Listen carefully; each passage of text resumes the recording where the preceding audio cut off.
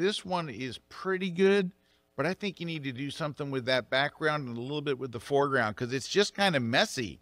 I mean, you've got the right animal, the animal's engaged with you and they're looking at you and it's sharp and it's crisp, but I wonder if we can. Let me go over here to lens blur and let's turn it on and see if give it a minute to do its thing and see if that helps. Yeah, that does help, but it doesn't help enough. Let's crank it up.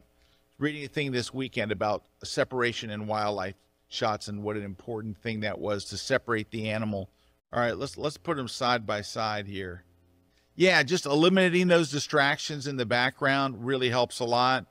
Uh, the foreground, you could, you know, work a little on that. You can actually paint in on the foreground and put a little of the bottom of the screen out. But I think I might just clone these couple of these stray ones, just clone them out of there. They're not helping the shot. This one, clone that out, clone that out, get rid of these couple. And then there's a little brush you can get down here, right here at the blur brush.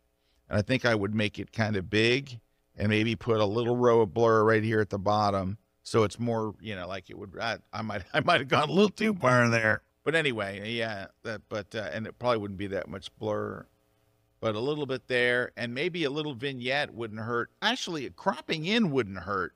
Actually, cropping in might do a lot for this one. Let's, let's say we went in here, got rid of some of that stuff. Yeah, that's better. You get the background out of focus, you get in there, but it's, it's just not, it's not really popping like it should. So you could, you might be able to go to masking, go to select subject. Let's make it a little brighter, add some contrast, and we'll do some whites and blacks, kind of make it just pop off there a little bit more. Let me just turn off that. See what I mean? See, I was kind of just blending in. You need to make it pop off a little more, but still, still good.